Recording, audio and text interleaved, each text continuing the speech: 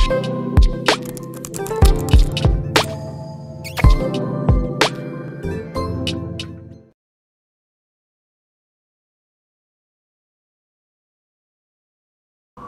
Başkanımızla Malatya'daki esnafımızın sorunları ve çözüm önerileri noktasında önerilerini alıyoruz.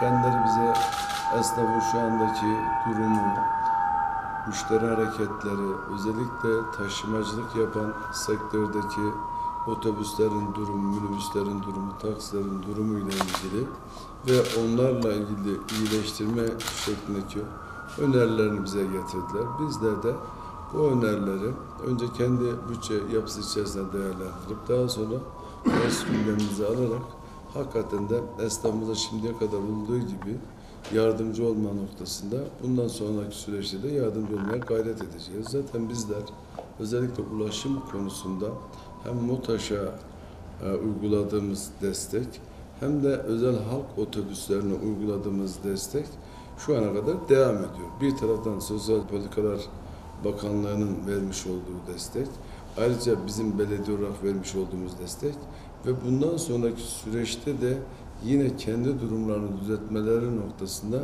nasıl bir destek verebiliriz ve destekimizin oranı nasıl olabilir şeklinde bir çalışma talimatı verdik. ESOP Başkanımızla birlikte hem bu anlamdaki problemlerin hem diğer anlamdaki esnafımızın problemleri hem de Malatya'nın genel anlamdaki problemlerin değerlendirilmesi noktasında bir değerlendirme toplantısı gerçekleştirdik.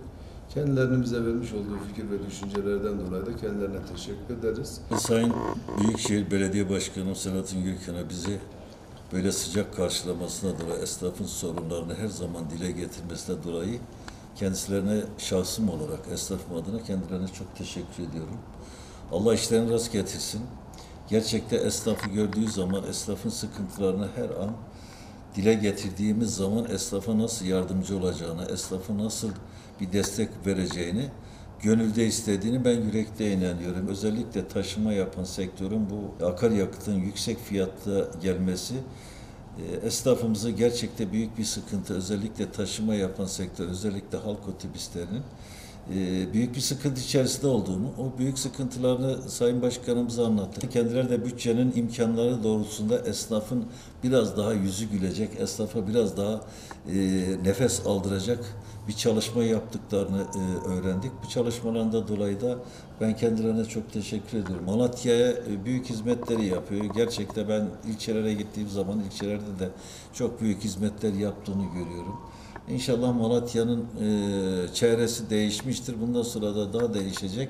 Biz her zaman yaptığı güzel şeylerde Sayın Belediye Başkanımızın, Büyükşehir Belediye Başkanımızın ve belediyemizin yanında olacağız. Ama esnafa e, bazı sıkıntılarını getirdiğimiz zaman da Allah razı olsun kendisine çok teşekkür ediyorum. Bütün samimiyette, bütün elindeki gelen imkanları kullanarak esnaf ve sanatkar camiasına destek olmak için gelen e, bütün imkanları kullandığı için kendilerine teşekkür ediyorum. Sayın Belediye Başkanıma çok teşekkür ediyorum.